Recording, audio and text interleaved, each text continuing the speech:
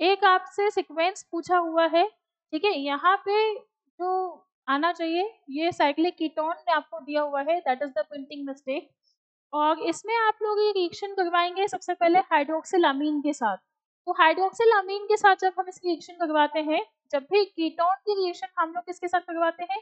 Hydroxyl अमीन के साथ करवाते हैं. तो उसमें क्या बनता है? ऑक्साइन बनता है, ठीक है? ये आपका कीटोन हो गया.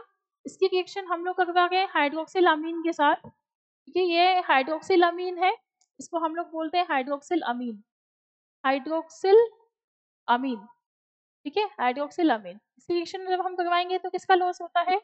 वाटर का लॉस होता है। तो हमने यहाँ से क्या किया? वाटर का लॉस किया। और माइनस एच टू ठीक है? इसकी जगह क्या बनता है? ऑक्साइम बनता है। तो हम यहाँ पे क्या बनाएँगे? ऑक्साइम बनाएँगे, ठीक है? Double bond N O H और ये लॉन पेयर ठीक है? अब हम इसकी क्या करवा गए एच प्लस के साथ रिएक्शन करवा गए ठीक है? तो एच प्लस के साथ जब आप इसकी रिएक्शन करवाओगे, ठीक है? एच प्लस के साथ जब हम इसे रिएक्शन करवाएँगे तो यहाँ जो कंपाउंड बनता है एक्चुअल में, वो इस तरीके से होगा कि हमने एच प्लस के साथ इसकी रिएक्शन करवाई और यहाँ होता है Beckmann rearrangement Beckmann Beckmann rearrangement rearrangement तो किस तरीके से होगा बैकमान रीअरेंजमेंट जैसे यहाँ पे जो प्रोटोन है, ठीक है? यहाँ पे जो प्रोटोन है इस तरीके से यहाँ से क्या होता है एलिमिनेट होता है? क्योंकि ये ऑक्सीजन पे क्या है? लॉन पेयर है। तो ऑक्सीजन पे जो लॉन पेयर है, वो इस तरीके से रिएक्शन करते हैं। बैकमान रीअरेंजमेंट अभी मैं बताऊँगी आप लोगों को किस तरह से होगा। पहले हम लोग इसको देख लेते हैं कि ये जो एच प्लस है बेसिकली इसका रोल क्या है? यहाँ जो OH है उसे क्या होता है? प्रोटोनेट हो जाता है, ठीक है? तो यहाँ से प्रोटोनेट होके क्या बनाएगा?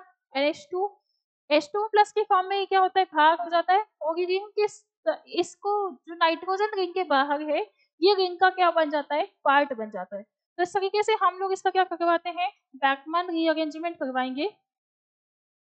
ठीक है? बैकमान बैकमान रीअरेंजमेंट और जैसे ही हम इसका बैकमान रीअरेंजमेंट करवाते हैं तो इसमें हमें क्या मिलता है? इस तरह का अनसेचुरेटेड एक कंपाउंड मिलेगा। इस तरह का एक अनसेचुरेटेड कंपाउंड हमें मिलता है और इस तरीके से यहाँ पे होता है डबल बॉन्ड ठीक है? अब इसकी रिएक्शन जब हम करवाते हैं,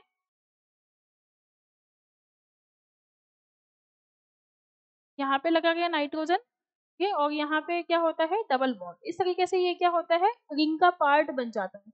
अब यहाँ हम लोग इसका क्या करवाएँगे? L I L H four के साथ रिडक्शन तो ये जो डबल बॉन्ड है, ये रिड्यूस हो जाता है, क्योंकि ये L I L H four क्या है? स्ट्रॉन्ग रिड्यूसिंग एजेंट होता है। तो हम लोग यहाँ पे रिएक्शन करवाते हैं L I L H four के साथ, और ये होता है strong reducing agent strong reducing agent ठीक है? तो जब हम इसे रिएक्शन करवाते हैं तो ये जो डबल बॉन्ड है, ये क्या हो जाता है? रिड्यूस और जैसे ही रिड्यूस होगा तो इस फॉर्म में ये क्या हो जाता है? कन्वर्ट हो जाता है। तो यहाँ पे हमने लगा दिया एन एच क्योंकि नाइट्रोजन के तो तीन बॉन्ड्स होते हैं।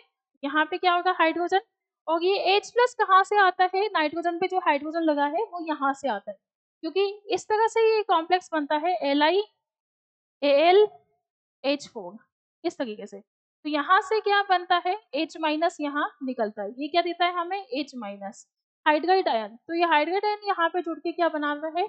इससे ये वाला प्रोडक्ट हमारा बनता है। तो that is the A plus B product तो ये पूरा रिएक्शन का क्या होता है? मैकेनिज्म होता है। ठीक है? ये आपका प्रोडक्ट बना है ए